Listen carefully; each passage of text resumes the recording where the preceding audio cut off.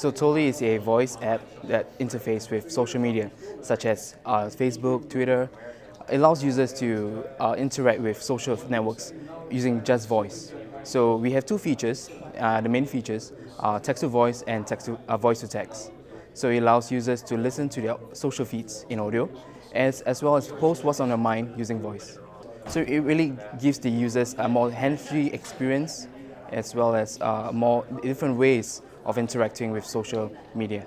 Right now, uh, we are building this app on Twitter network, but in the future, we're going to build on other social networks such as Facebook, Twitter, and we're going to open up into to even more people to actually use it as a mainstream app where people can uh, interact with social media in a different way, rather than just using the conventional way of typing or uh, reading through the mobile applications. So it helps uh, people, like for example, drivers to uh, consume information uh, instead of reading from their mobile phones, they can listen it to it while they're driving. So initially, our target audience are visually impaired or visually challenged people.